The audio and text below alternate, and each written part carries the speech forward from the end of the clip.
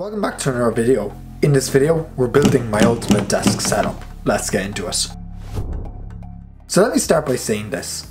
This is probably excessive for a lot of things. You can get perfectly fine with any old computer, but for what I wanted, this meant expanding my equipment. I've been filming a lot on this camera, the Canon 700D, and my iPhone over there, it is shooting at 4K at 60 and I wanted to step things up a bit. I wanted to compress the file size a bit more, want to produce more content and that's where this comes in. Let's start off with the monitor, what you see behind me. This is the Dell P2422H. It is a 24 inch 1080p monitor that has a matte display, gets super super bright and I got it for 150 euros. It's down from 300. The, the monitor comes with a stand that's very very adjustable, has lots of tilts, pivots and turning and all that. You can take it off the stand with just one button press and the stand is included.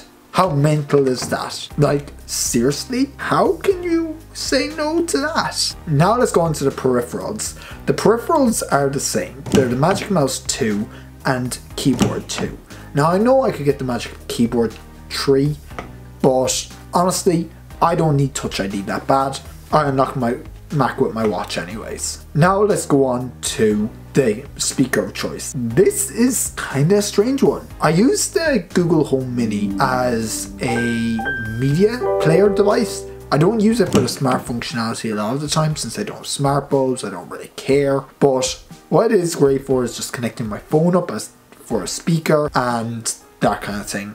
And I like to play a few radio stations, so that really helps while I'm editing. Next, we have my 10.5 inch iPad Pro on the desk, which doesn't get used as an iPad Pro anymore, technically. It gets used as a sidecar display. Now what sidecar is very good for is sidecar allows me to use my iPad as an external monitor, which means I didn't have to go out and buy a second monitor, which I'm really stoked about. The headphones of choice remain the same. The Sony WH-XB900Ns. These are noise cancelling headphones and they honestly do the best job of any noise cancelling headphones I've had to date. Obviously there's better ones, but these do fine for what I need to do at the moment. You'll notice there's no webcam on this setup and there's no microphones in this setup. It's because I don't need it for the most part.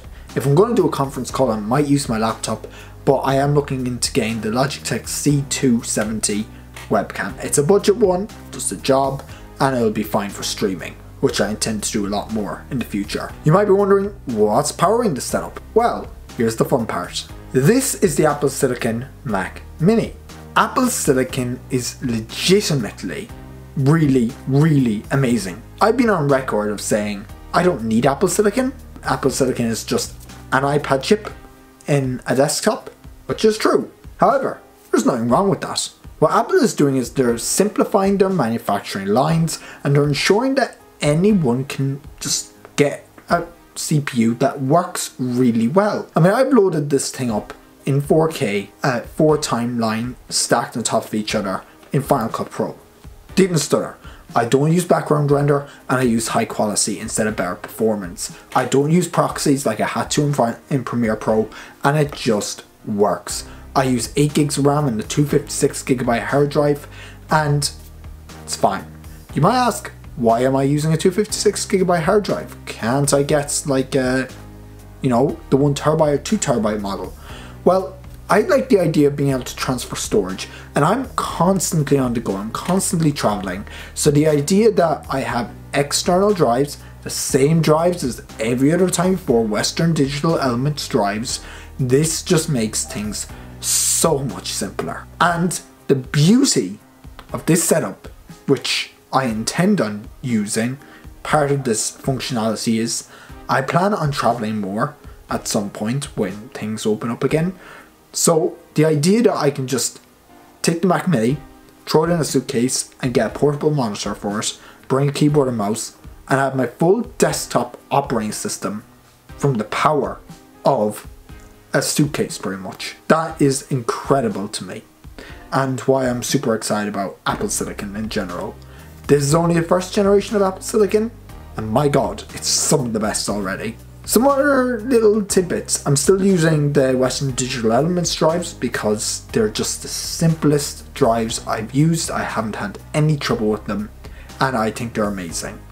Also, this monitor, something I forgot to mention, it has a little cable uh, cutout so you can route all your cables behind the monitor. Super clean, super minimal. It has four USB uh, A ports, 3.0 speeds. It has a HDMI port and it has a VGA port and a USB downstream uh, port. So honestly, it has everything. And yes, the Mac Mini has two ports in it, USB USB A ports, but it has Type C, so you can expand that in the future. And because I have this monitor, I have four extra USB A ports already. And that's the video. If you like this, hit the like button, subscribe, comment down below or join the Discord. Link Links always in the video description. Let me know what your setup is on Twitter at TechWizYT. And I'll catch you next one. Goodbye.